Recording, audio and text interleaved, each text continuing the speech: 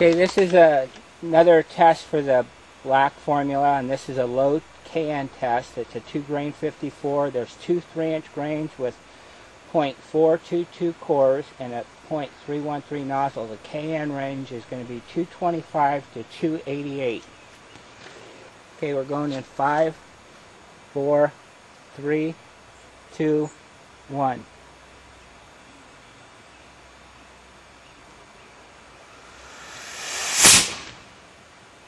That's a chuff. Chuff.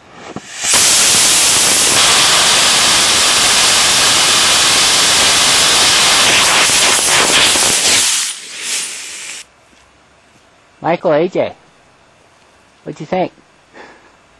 He Didn't even flinch. Okay, this is another test with the black formula. This is to check the upper KN range.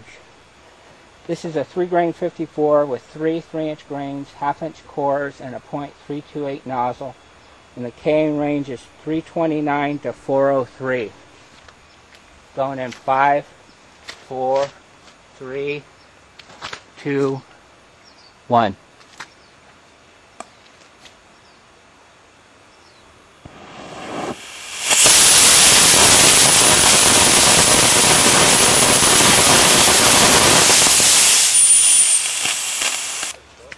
Okay, this is a Sparky test. It's the same formula as the black, except for it has 5% titanium chips from a lathe operation.